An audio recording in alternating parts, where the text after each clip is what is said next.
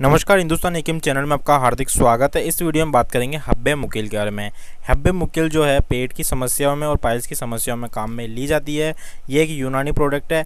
बात करें इसके कंपोजिशन की, इसमें जो इंग्रेडिएंट्स यूज़ किए जाते हैं, वो है मुकिल है, पोस्ट हलीला जर्द है, पोस्ट हलीला कबली है, आंवला खुश्क है समृज है, इसके अलावा इसमें खुरदुल है रोगन बादाम है, आब कंदान है, इस प्रकार के इसमें इंग्रेडिएंट्स यूज़ किए जाते हैं।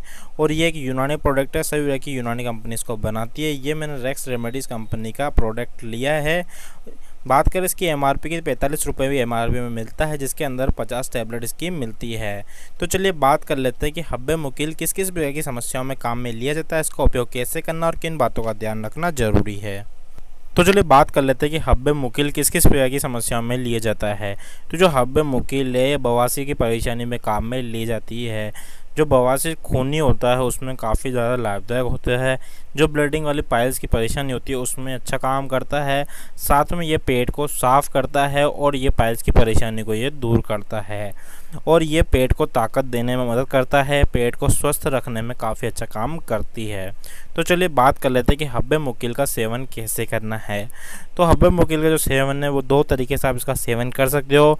एक, इसका सेवन अगर आपका पेट ख़राब रहता है, अगर आपको यहाँ पर कब्ज की शिकायत है। तो आप इसका सेवन रात को सोते वक्त, तीन गोली रात को सोते वक्त पानी के साथ इसका इस्तेमाल करें।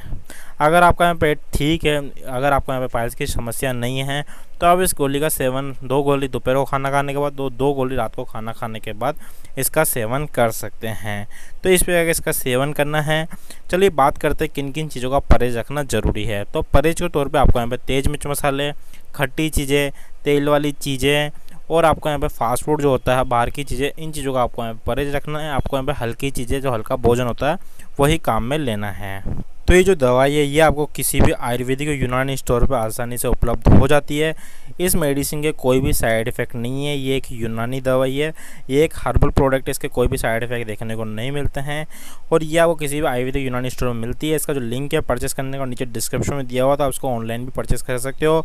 ऑनलाइन भी इसको आपको मिल जाती थी। अगर आप मार्केट से नहीं ले सकते हो, नहीं मिलती है तो आप इसको ऑनलाइन भी मंगवा के इस्तेमाल कर सकते हो।